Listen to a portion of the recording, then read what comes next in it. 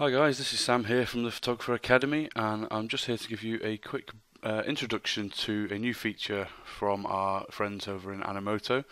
Um, they have recently added a brand new feature uh, to allow a marketing style video so, as well as a slideshow style video. So I'm just going to give you a quick overview of uh, the features that are involved in that and how to put one together so you can quickly and easily um, create social media adverts and videos um, using their templates. So first things first, once you've logged into your account, you go to create and you're going to see that you've now presented with two different options. You've got your regular slideshow video, which is the old style Animoto stuff there. We also have this new one here, which is this marketing video. There's some great features in here, so we're going to show you how to use those. So as with the other one, you would hit create. It'll take you through to a series of templates that you can use to start to create your videos. So they have these things called storyboards, which is a new way of putting together your videos. So this allows you to put in uh, video clips, longer video clips than in the slideshow and stuff. But uh, on this first page, you can see that they have created a few different options for you to choose from just to get started really quickly. So if you want to share something, tell a story, you know, showcase, these are designed to give you kind of an optimum look for a particular use. So you can see there's 12 basic pre-built storyboards you to choose from, uh, but you can also choose to start from scratch if you want to create one of your own. So I'm going to do that. I'm going to start from scratch. And this will give you then five different styles uh, that you can choose from.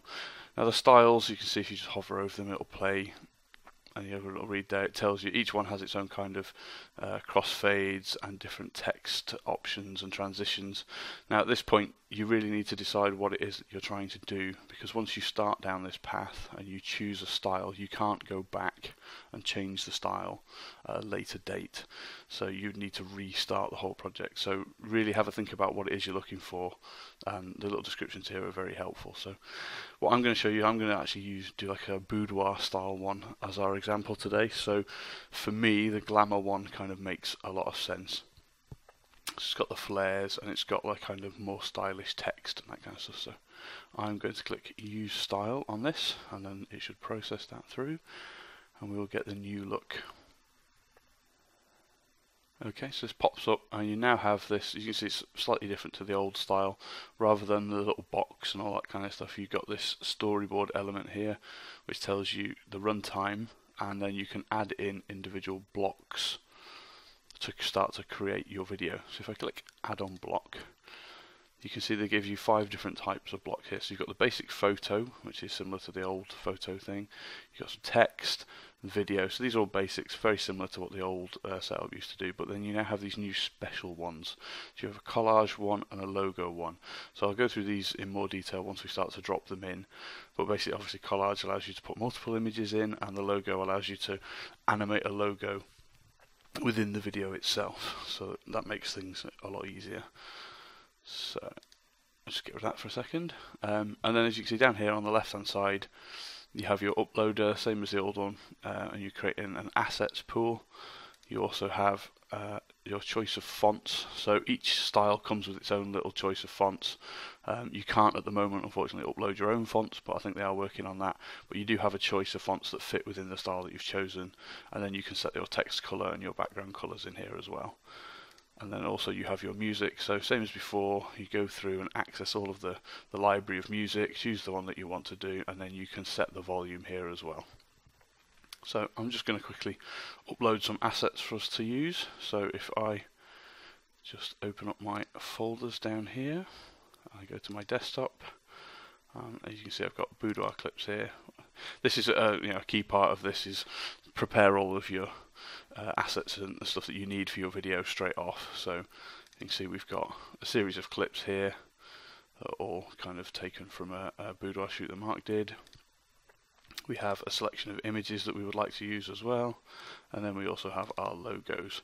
So you see I've got two different versions of the logo here, and I will explain why I'm going to do that. So I'm just going to, there's two ways to upload. You can drop them in, drag and drop, same as the old system. Yeah, obviously they go in really quickly there, you can see. And then you can also use the upload function up here as well. You can just click upload and it will take you through to a browser the same as you would before. So again, boudoir clips, images. So I just select all of those video clips and hit open and they'll upload. Now obviously the video file sizes are a little bit larger than the stills uh, that you used to use. Um, I think the limit on the file sizes at the moment is 400 megabytes so that is going to take a little bit of time to upload. So I'm just going to let this process and then once they're done I'll come back to it. So guys, that uploading is finished now, so you can see I've got a full uh, complement of assets here. So we've got our two logos that we put in at the start, our selection of video clips, and I've also gone ahead and imported all of the still images, which is exactly the same process. So I'll quickly walk you through the different types of blocks and the kind of things that you might want to do. So with regards to like layering your, you know, in a video you traditionally start with a logo and then you might have some clips and then some text and so we'll go through all of that. So if I just click add block and I start with a logo block so you can see I put in two different types of uh, logo here. One is a JPEG and one is a PNG and that's because Animoto actually recognizes um, whether it's uh, got a transparent layer in or not. So one of the things, first things about the logo is there's actually two elements to each logo slide. So if I drag that in, you can see there's an outer element there, but it also selects the inner element. So you can see that that logo has the white background and it also has a, a coloured background behind it. Whereas if I drag this logo over it, it actually layers the logo over the top of the background, which is really useful because you can also, as well as having a solid colour background, you can drag an image in and use that as your background as well. So that's just a basic layout. If you want to make any adjustments to a block like this, you just go to see more and it'll open up this editor.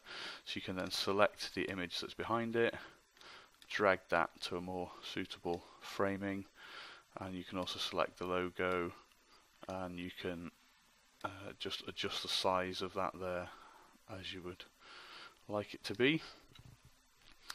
So again, so then you just hit back to storyboard and if you hover over it it'll show you what the animation of that particular slide is. So you see it flashes in, it goes up. I might want to hold it for a little bit longer so you see there's a, a slide here that says, oh, a little section of slide that says 3 seconds. If you click on that we can just up and down because it stills, it will set the actual uh, length of that itself. So we can add text to that and we can do it, but I'll, it's the same on all of the slides so I'll show you on one of the next ones. So if I now click add block I'm probably going to want to go into a couple of video blocks first. So hit video. So it defaults to 10 seconds, but that will adjust depending on the length of the clip that I drag in. So I'm going to basically do this as if it was a quick overview of a session. So I'm going to look down here. I'm going to find my clips of Mark talking to the client. So we'll start with um, this one here. And at this point I'm just going to, you see that's adjusted now to 5 seconds. I'm going to quickly just build like a miniature story about what we're looking at here. So uh, they're looking at this, so we'll show the detail shot and then we'll go for a reaction shot as well. So the same as any video, when you're starting to put this together, this is the same as building your clips on a, a timeline. You, you're thinking about the story that you're telling. Now we can adjust each of these videos uh, length, so 5 seconds, 12 seconds, 9 seconds, you can see we're already up to 30 seconds, so it's going to get a little bit long. So if we just click into see more again, select the video, and then we have the option we can zoom the video, but I would avoid doing this as you will get pixelation, so unless you've got quite high-end 4K footage or something, I would avoid that. But you can select trim, and then that will, you can play through the clip, and you can select which section you want. So I can drag in this start bit here until we start to get sideways movement. And then I can drag this down. It's probably down to about three seconds. There, so you can see this is actually our total runtime here. Hit apply. And that's now three seconds. But the great thing is I don't have to keep nipping back to the storyboard. If I want to adjust the next clip, I can just click on it and it'll jump straight through then. So again, select and trim. So I'm just going to go through until I get to the bit where she clicks. So there we go. So we'll get her scrolling down and then once it clicks and opens up, it clicks and there we go. Stop there. So that's another five second one. So apply. And then we'll go to this final one again. We're looking for a reaction. And then we'll go to trim again. I'm looking through for Kelsey's reaction. So there you go. So she's yeah, So Mark's talking, she's laughing, great. So again, we'll drop that down to about three seconds and apply. So we go back to the storyboard, we can see now we've got our videos all in a line and we also have this uh, 15 second run, which so we've halved the amount in there. And if we go to the next block, I'm now going to add a collage, shows the types of images that they might have been looking at.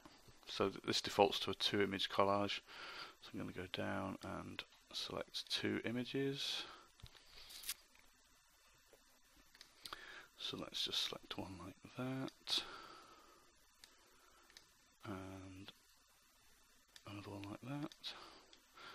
So you can see again, just hover over it, it'll show the animation.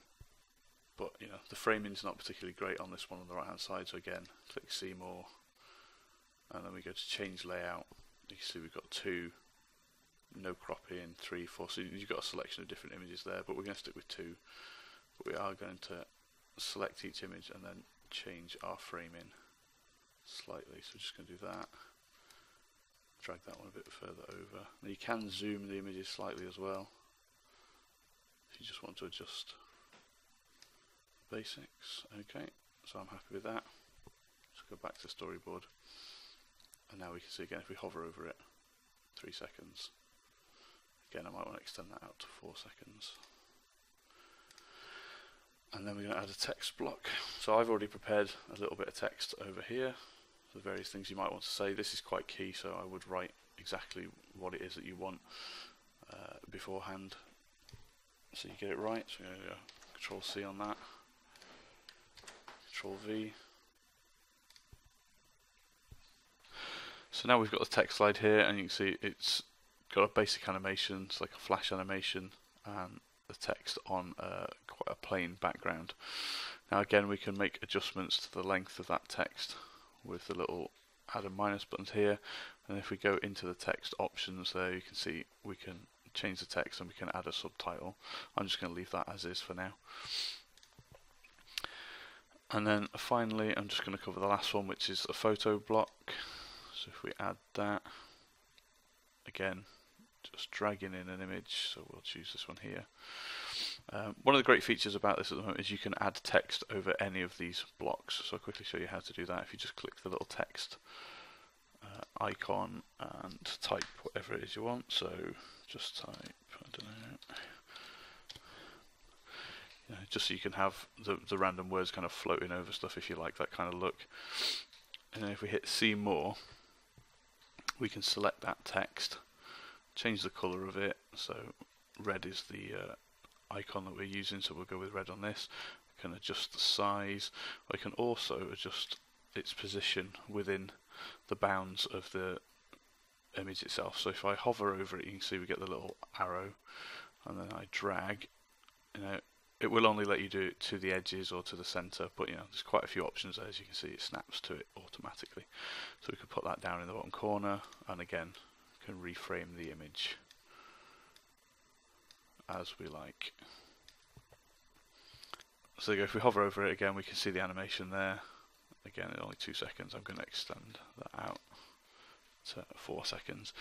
Um, just quickly before I forget, on the logo options, there are uh, other options as well as for the animation. So if I click into see more, uh, you'll see we get this option to change the text uh, as we would before, but we also get this little L with a swoosh, which is change animation. So if we click that, um, as with the previous type of Animoto, when you ever put a, a, logo on the front, you get this selection of different uh, animations. There's a focus animation, a slide, the zoom, zoom out. Yeah, you just select whichever one looks best. So I'm going to go with the focus one and apply that.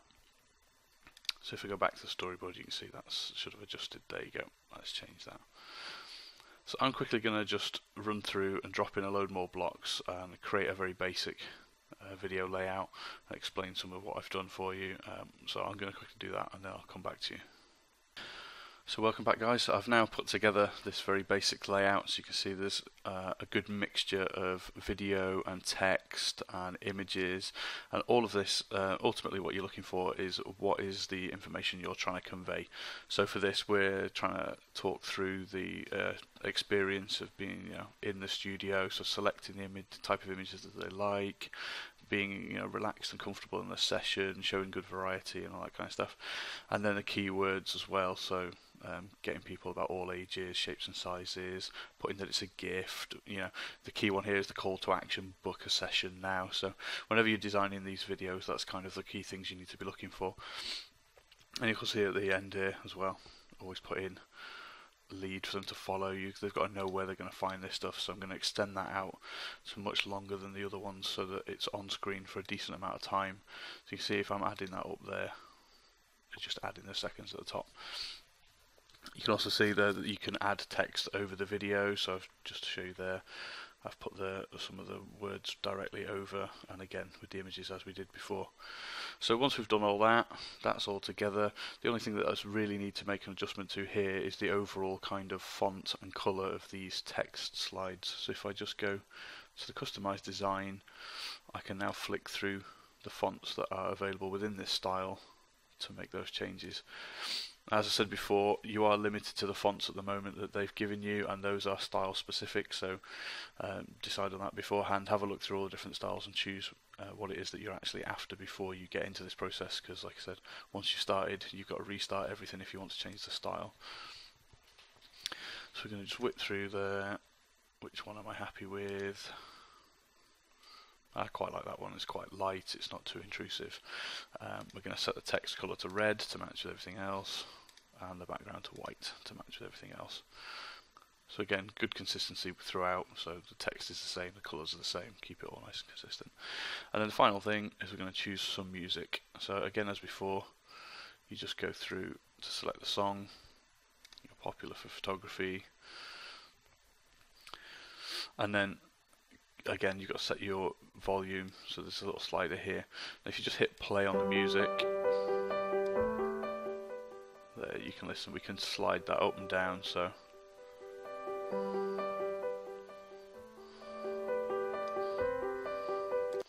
So yeah, I don't want it too intrusive but you know that's all good. The one final thing that I haven't mentioned, but it is possible, you can, if you go to any of the slides, see there's a little microphone here, you can record a voiceover that go uh, over each slide.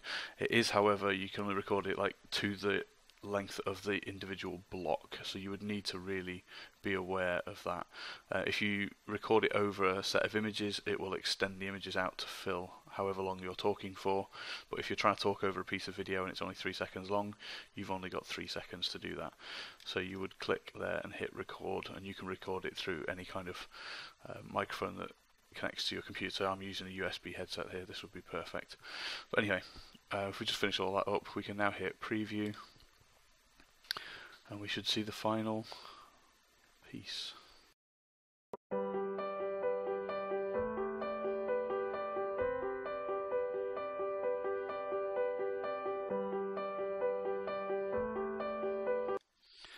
So I'm pretty happy with that, so I'm just going to hit produce. As before, you get the same options, so we're going to call this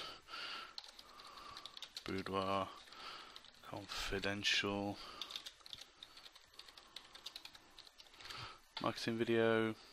Just hit finish, and that'll process the same as it would with one of the old slideshows. I've been Sam for the Photography Academy. Thank you for watching.